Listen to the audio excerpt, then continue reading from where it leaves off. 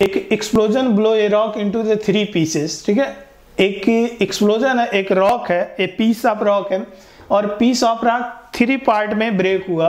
The two part fly at right angle to each other and one के kg first apart moving with velocity 12 and 2 kg apart moving with velocity 5 meter पर second दोनों perpendicular है। Third part fly up with velocity four में mass देखो question को समझो, video pause करो और सॉल्व करने की कोशिश करो। ऐसा क्वेश्चन मैं काफ़ी बार करवा दिया हूँ और आया भी है, ठीक है? अगर एक पीस ऑफ़ रॉक है जो एक्स वाई प्लेन में मान लो रखा हुआ है, अब इसके दो पीस हुए।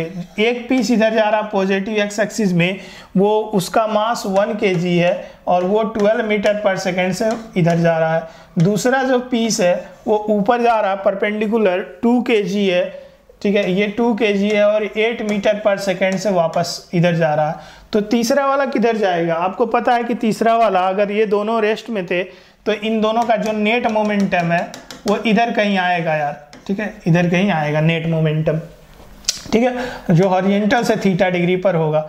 ठीक है? इसका मतलब ये हुआ कि जो तीसरा वाला पीस है, उसको वो इधर कहीं जा रहा होगा जो कि हॉरिजेंटल से थीटा डिग्री पे, ठीक है? तभी तो जाकर नेट मोमेंटम ज़ीरो होगा। ठीक है? इनिशियल मोमेंटम ज़ीरो था तो फाइनल मोमेंटम भी ज़ीरो होना चाहिए यार। तो इन तो इन दोनों का नेट मोमेंटम इधर गया तो तीसरा वाला इधर ही जाएगा, तभी तो नेट मोमेंटम ज़ीरो होगा कैंसिल करके। ठीक है? तो third part fly off with velocity इसकी वेलोसिटी फोर मीटर पर सेकेंड है, और इसकी मास हमें नहीं पता, वही हमें कैलकुलेट करना है। तो सबसे पहले मोमेंटम कंजर्व करा मोमेंटम कंजर्व इनिशियल इसका मोमेंटम आ गया ट्वेल्व मास और इसका मोमेंटम आ गया eight multiplied by two is equal to ten तो नेट मोमेंटम आ जाएगा नेट मोमेंटम आ जाएगा नेट मोमेंटम ये वाला आ जाएगा आ, वो 12 का स्क्वायर और प्लस 10 का square under root. This is the net momentum ये इसका आ जाएगा नेट मोमेंटम जो कि इन दोनों का इन इस मोमेंटम और इस मोमेंटम का रिजल्टेंट इधर आ जाएगा। और ये मोमेंटम ये मोमेंटम इसके मोमेंटम के इक्वल होगा और ये आ जाएगा 4m this momentum must be equal to four m यहाँ से मुझे मास की वैल्यू पता चल जाएगी, ठीक है?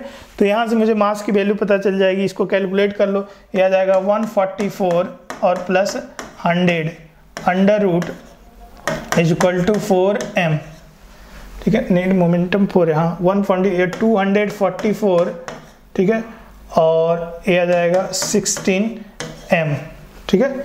सिक्स वन 144 और ये वन का स्क्वायर देखो एक मिनट, सही है?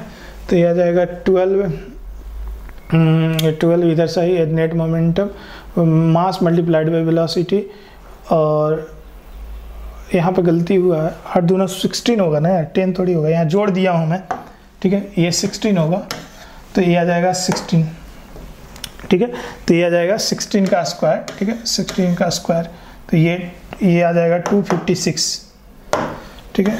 ये आ जाएगा 250 256 तो 256 और ये आ जाएगा 356 ठीक है? 256 और ये हाँ और ये 12 आ जाएगा।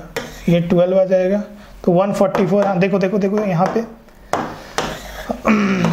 ये 256 और 144 ये काट दो। ठीक है? 200 टू और थ्री टू और थ्री और ये फोर हंड्रेड तो ये आ जाएगा four hundred under root. Four hundred under root मतलब twenty is equal to four m, ठीक है? ये काट दो, ठीक है? ये वन हंड्रेड फोर्टी फोर, ये समझ रहे ना? अरे समझ रहे ना भाई, कहाँ गलती हुआ था? ये ट्वेल्व हुआ और ये सिक्सटीन हुआ। ट्वेल्व और सिक्सटीन का स्क्वायर चार सौ और four hundred under root, four hundred under root और डिवाइडेड बाई फोर एम। तो फोर एम इसका मतलब ये हुआ कि फोर हंड्रेड, टू हंड्रेड, ठीक है? ये आ जाएगा ट्वेंटी, ठीक है? हम्म। हाँ twenty divided by four m तो फोर एम की जो वैल्यू आ जाएगी, वो आ जाएगी फाइव के जी ठीक है? क्लियर है? तो ये आ जाएगा हम लोगों का फाइव के जी जो फाइनल सोल्यूशन ये है।